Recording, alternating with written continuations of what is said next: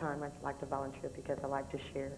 Um, in my child's school, I partnered with their program, the PE department, and I go in and I do different programs, be it yoga, Pilates, just bringing different ideas to the floor also helps the kids in reference to physical activity.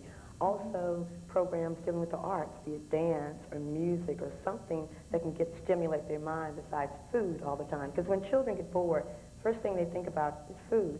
So let's try to find something that they won't be so bored. If they're continue being active, then they have less time thinking about food. So when it's time to eat, they can pretty much get a balanced meal and not always those in-between snacks because they're bored.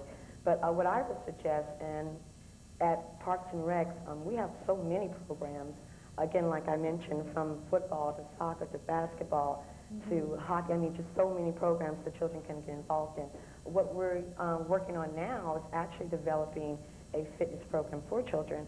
Um, a lot of the fitness centers that I work, children are pretty much restricted at a certain age they can come into this center like age 12, age 14. Mm -hmm. But we're looking at a way where we can start introducing fitness centers to the children at the age of four or five, maybe as a field trip um, through the schools. That's something that I was working on with my child's school as a partnership and volunteering. Have the kids come in and tour a facility that deals with um, cardiovascular equipment, be it treadmills, ellipticals. They don't know what that is. Um, it's interesting because when the children do come in with their mothers, I say mothers are coming in to join. Um, perfect example, I had a young lady coming with her daughter. She was fascinated with equipment. She wanted to know what does it do, what, what's it for.